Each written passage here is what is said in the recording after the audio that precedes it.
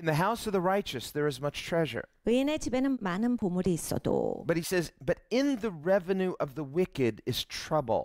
악인의 소득은 고통이 되느니라 So 하셨어요. we see, well, there's two houses here the house of the righteous, the house of the wicked. 여기에 이제 두 사람의 집이 있죠. 의인의 집이 있고 악인의 집이 Well, 있습니다. I know there are many wealthy people and they're wicked. 아, 부자들 중에서 악한 사람이 많죠. What is the Bible saying here? 성경이 뭐라 하십니까? In the house of the righteous there is much treasure. 의인의 집에 보물이 있다. If that's all you read, 근데 여러분 거기까지만 읽으시면 well, see, God's going to bless you financially if you honor his ways. Well, there are a lot of people who don't honor God and they have financial abundance. 에이, 그렇게 읽으시면 안 돼요. 왜냐하면 여러분 하나님께서 여러분의 길을 기뻐하시면 축복하시거든요. 그래서 여러분이 재정적으로 많은 축복을 받으세요. 그것도 사실이에요. 그렇지만 하나님의 길을 따르지 않는 사람들도 재정이 많은 사람들이 있어요. 자기들이 악하게 살아서 재정을 많이 축적하는 사람들이 있습니다. But when we see in the Bible this word house, 근데 여기서 집이라고 하는 단어를 보면 and a house is not just speaking of a physical dwelling. 에, 집이라고 했을 때 그냥 내 몸이 그냥 있는 장소 이거에서 더 나아가는 말씀이에요. A house speaks of authority. 집이라고 했을 때 이거는 권위를 말합니다. A house speaks of inheritance. 예, 집이라고 했을 때 그, 이, 유업을 말하는 거예요. So when we read, for example, of the house of David, it's not talking about the building that he lived in. 그러니까 우리가 성경에 보면 다윗의 집 이런 얘기가 굉장히 많이 나오는데 다윗이 살던 건물을 말씀하시는 게 아니라 It's speaking of his dynasty, of his dominion. 어, 다윗의 그 왕조를 얘기하는 거예요. 다윗의 통치를 이야기하는 겁니다. So in the dominion of Christ, in the dynasty, we could say, of Christ. 그러니까 그리스도의 통치, 그리스도의 그 왕조를 내가 생각을 해보면 In Christ, you and I are part of an eternal dynasty. 그러니까 여러분과 저는 이제 영원하신 그 예수 그리스도의 왕조 안에 귀속된 자들이에요. In Christ, you and I are part of his direct spiritual lineage. 그러니까 여러분과 저는 영적으로 이제 그리스도의 그 줄기 가운데 후손 가운데 들어간 자, 자들이거든요. We're receiving a kingdom that cannot pass away. 그냥 지나가 버리지 않을 그러한 나라에 속한 자가 되었습니다. Do we value this? 그럼 이게 굉장히 가치가 있어야 합니다. Or are we only valuing external things, external houses, that which can be seen outwardly? 여러분 우리가 겉모양의 집만 집착합니까? 겉모양의 무엇만을 추구합니까? 남들이 볼 수 있는 것 안에서에만 내가 추구하고 있습니까? Remember, you can't serve two masters. 여러분 우리가 기억해야 합니다. 두 주인은 섬길 수가 없습니다. If you're serving an external house, you will despise the invisible house. 여러분 자꾸 겉의 것을 내가 중요하게 생각하면 보이지 않는 것은 우습게 여기고 살게 돼요. Be careful what you value. 그러니까 여러분 내가 어디에 가치를 두는가에 굉장히 조심하셔야 합니다. And be very careful what you despise. 그래 여러분 무시하시는 거, 내가 뭘 무시하시는지 언- 언제나 조심하셔야 돼요. You will be brought into judgment for that. 여러분 무시하시는 그것 때문에 심판대 앞에 쓰게 되십니다. For to whom much is given, the more shall be required. 왜냐하면 하나님이 많이 준 자에게 더 물으시기 때문입니다. Jesus said, It would have been better for them never to have heard than to hear and despise and turn away. 그러니까 성경이 이렇게 말씀합니다. 저들은 그냥 아예 듣지 않은 것이 나을 뻔하였도다. 듣고도 저렇게 등을 돌리고 다른 길로 가버리는 저자들은 아예 이것을 처음부터 듣지 않는 것이 더 나을 뻔하였도다. You will be brought into judgment. 그러니까 여러분 그것에서 이제 심판대 서게 되는 거예요. So repent, 그러니까 회개해야 합니다. not for man, for God, for your own soul. 여러분 이 사람을 위해서 회개하는 게 아니라 하나님께 회개하는 거죠. 그리고 내 영혼을 위해서 회개하는 거예요. Otherwise, your pride will blind you and destroy you. 어, 그렇게 안 하면 내 교만이 나를 파괴시킵니다. 결국은 나를 멸망하게 이를 겁니다. So, two types of houses, 그러니까 집이 두 개가 있어요. two types of dynasties 어, 두 가지 왕조입니다. 두 가지 종류인 거예요. a physical house, a spiritual house. 아, 진짜 사는 곳이고 또 영적인 집입니다. The spiritual house of God is eternal. 하나님의 영적인 집은 영원합니다. In the house of the righteous, this is the house of God. 그러니까 의로운 사람의 집, 여기가 하나님 집이죠. The word dominion, it comes from the root dom in Latin. It means house. 그러니까 여러분 통치라고 하는 단어가 나오는 것을 보면 돔, 도미니언이 나오는 건데 그것이 바로 이제 집이라는 뜻에서 나옵니다. Dominion speaks of an authority structure. 이 권위 체계를 이야기를 해요. Whose authority are you under? 여러분, 여러분은 누구 권위 아래서 살아가십니까? We also see this word in. 그리고 어, 집에는이라고 하셨어요. In the revenue of the wicked is trouble.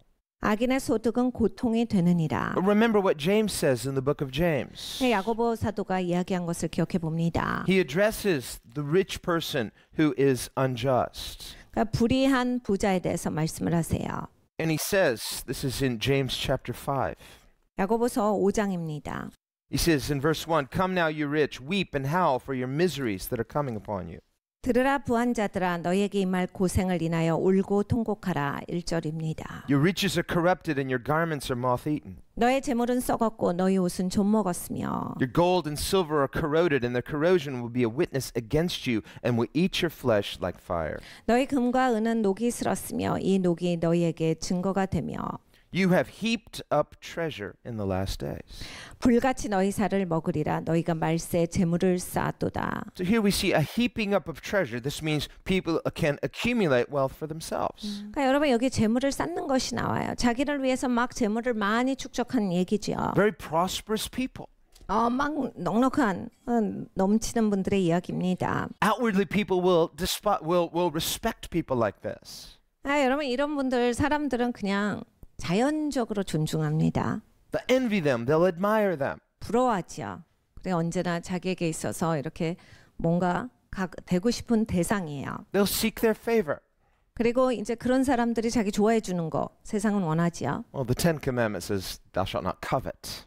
네, 여러분 이 십계명에 말씀하시기를 남의 것은 탐하지 말아라 해요. Don't covet what's not yours. 내게 아닌데 탐하지 말아라 해요. Don't envy them. 그러니까 이게 부러워하는 것을 하지 말아라 If you do well, God will bless you.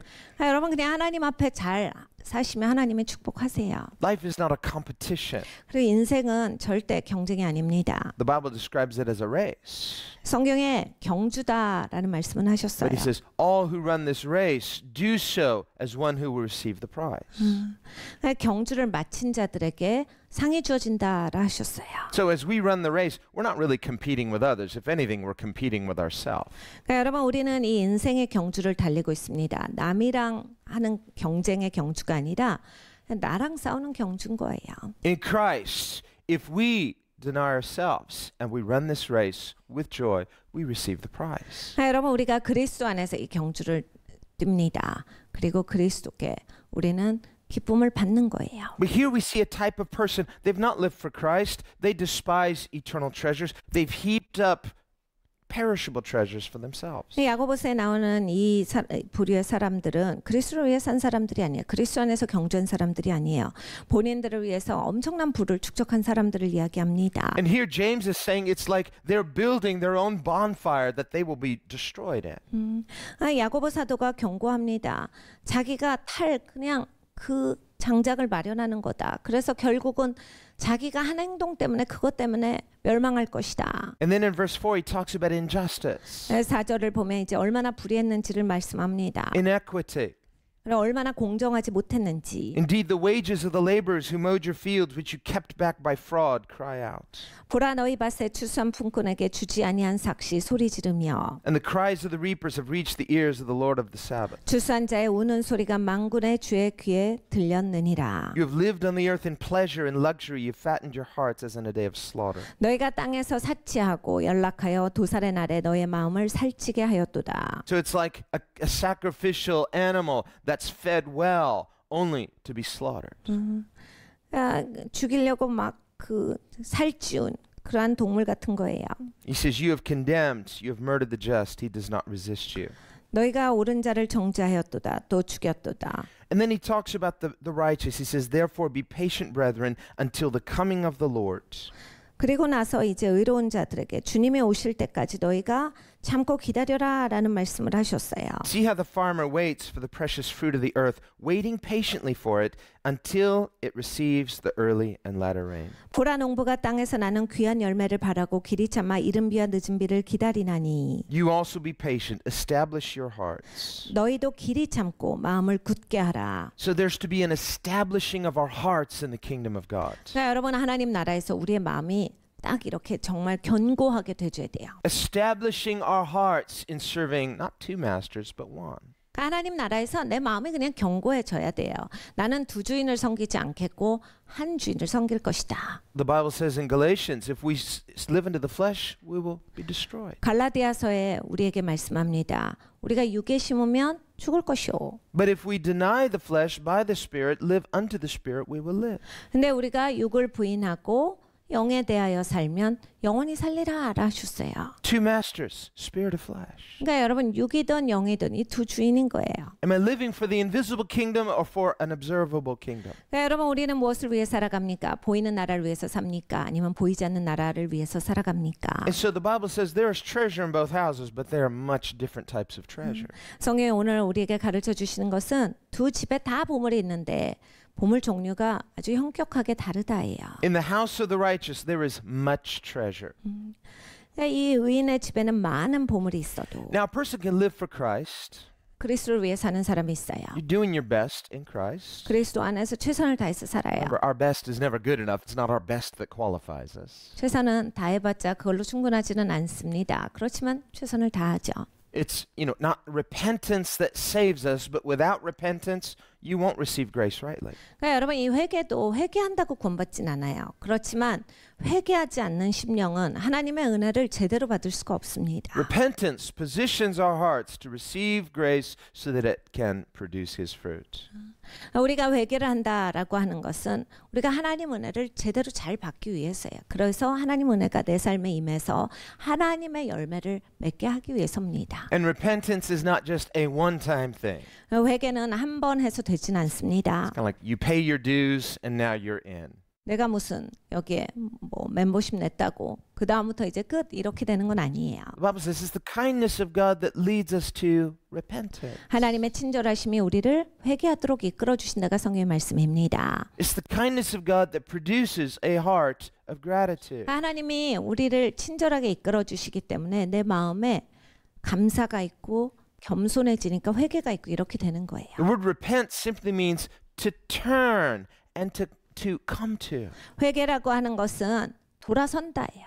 그리고 돌아서서 이제 다른 데로 가는 거예요. John says in 1 John, if we say Christians, we say we have no sin, we deceive ourselves. 요한 1서의 요한 사도가 우리에게 이렇게 말합니다. 야, 기독교인이 난 죄가 없습니다. 하면 속고 있는 거다. Paul says in Romans 8:14 that as many as are led by the Spirit of Christ, these are the children of God. 로마서 8장에 또 말합니다. 하나님의 성령으로 인도하심을 받는 자라야 하나님의 자녀니라. So a Christian may, through his own ignorance or willfulness, stray from God's way. 그러니까 여러분 우리 기독교인들도 이제 자기 고집이 세 가지고 아니면 자기 생각 가운데 미혹돼서 하나님의 길로 가, 삶을 안 살고 옆길로 새는 적이 있어요. And if a Christian strays from God's way, if we say we have no need of repentance, then it means they're saying there's no need of turning and returning to the Lord. 그 잘못되게 살면서도 어, 내가 그 이거 회개해야 되는지 모르겠다. 이러면 결국 이제 돌이키지 않는 거거든요. 자기한테 회개 필요가 없다라고 할- 했을 때는 그 옆길로 샌 대로 계속 가겠다라는 얘기예요. 다시 돌이킴이 없는 거예요. But if a person's being led by the Spirit, the Holy Spirit's not going to lead them in their own way. 내 성령의 인도하심을 받는 사람은 그렇게 자기가 자기를 주장하고 맘대로 살아가는 걸 내버려 두시겠습니까? And the Holy Spirit will certainly not lead a person into sin. 성령 하나님은 절대로 우리를 죄 가운데 인도하시는 법은 없습니다. The Bible says in the book of James, let no one say when he is tempted, I'm tempted by God. 야고보 사도가 우리에게 경고합니다. 아니 유혹을 받아놓고 하나님이 유혹하셨다 이렇게 말하지 말지어다요. Because God never tempts a person to sin. 하나님은 유혹하시지 않아요. 하나님은 절대로 사람을 죄에 빠지도록 유혹하시는 법은 없습니다. Rather, Jesus said, when the Holy Spirit comes, he will lead you into all truth and into all righteousness. 예수님께서 가르쳐 주셔서 성령께서 너희를 인도하시면 이제 모든 진리 가운데로 의 가운데로 인도하시리라. So to be led by the Spirit of truth, and the Bible says, all children of God are led by the Spirit. 그러니까 이 진리 가운데로 우리가 인도되는 거예요. 하나님의 자녀는 다 성령으로 진리 가운데로 인도된다 하셨어요. If you're not being led by the Spirit, Paul seems to say, you're not really a child of God. 그러니까 성령의 인도하심이 없는 인생은 바울의 말씀에 따르면 하나님의 자녀가 아니겠지요. It's the kindness of God, it's the Spirit of God that leads us to repentance. 그러니까 하나님의 친절하심, 하나님의 영이 우리를 계속 회개하도록 이끌어 주시는 거예요. Jesus said, Whoever's not for me is against me. 예수님께서 가르쳐 주셨어요. 나를 위하는 자가 아니면 나를 대적하는 자니라. You can't be neutral with Christ. 여러분 그리스도 앞에서 그냥 중간 지대에 계실 수는 A 없습니다. person may say, I'm not against Christ. 그러니까 아, 나는 그리스도에 대해서 반다는 건 아니지. But if they are not for him, Jesus says, You're against me. 네, 여러분 그리스도를 위해 계시지 않으면 예수님이 말씀하셨어요. 예수님을 대적하는 자들이다. And in the end, their hatred of God will be clear for all to see. 결국 좀 있다 보면 예수님을 대적하는 자라라고 하는 것이 만천하에 모든 사람이 목도하게 될 것이다라 하셨습니다. And we must see ourselves for who we really are. 여러분 우리는 우리 자신이 누구인지를 진짜 알아야겠습니다. So a person, they may be doing their best in Christ, they may be seeking to honor Christ, but they say, Where's the fruit? 그러니까 여러분 막 최선을 다해서 예수님을 구하고 예수님을 따라가려고 하는데 인생을 바라보니까 열매가 없어요. David writes in the Psalms 다윗이 시편에 적고 있습니다. at one of his lowest points, 다윗이 가장 낮았을 때, and he said, I was tempted to say this. 아, 내가 정말 유혹받아서 이렇게 말하고 싶었다. Surely I've labored in vain. 내가 진짜 헛 살았도다. Surely it does no good to serve God. 내가 하나님 섬겼는데 뭐 아무 쓸모가 없네라고 말할 뻔하였도다. I've done these things in vain. 아, 내가 이렇게 한 거 다 부질없는 짓이다. I've cleansed my hands in vain. 난 정말 이렇게 부질없는 짓에 손을 깨끗하게 하고 살았구나. Meanwhile, the wicked are prospering. 그리고 악한 자들은 저렇게 잘 사는데 There's no fear of God in them. 저들은 하나님을 두려워하는 마음도 없는데 They sleep comfortably in their beds. 어, 잠도 아주 푹 잘 자고 They send their kids to the best schools. 학교도 제일 좋은 학교 애들을 보내고 They seem blessed in every way. 그러니까 매사에 저 사람들은 축복받는 것 같은데 Surely I have cleansed myself in vain. 나는 정말 허망한 일 가운데 나를 다 소비시켰도다. David says, I was very dangerous in saying these things. 아, 다윗이 그렇게 고백합니다. 내가 정말 위험한 지경에 처하였었도다. 내가 이렇게 이 모든 말을 내뱉을 뻔하였도다. And in envying the wicked, I was tempted to forsake Christ and become like them. 내가 악한 자가 너무 부러워서 그리스도를 버리고 저들과 같이 되기를 원하였도다. It's a very utilitarian way of thinking. 어, 굉장히 실용주의적인 사고죠. Then David says, God showed me their end. 근데 다윗이 고백합니다. 그런데 하나님이 나에게 저들의 끝을 보여주셨도다. That there is a day of judgment. 여러분 심판 날은 That 있습니다. riches cannot save. 심판 날이 되면 아무도 자기를 건질 자는 없어요. And then in all of their outward prosperity, yet there is no real happiness.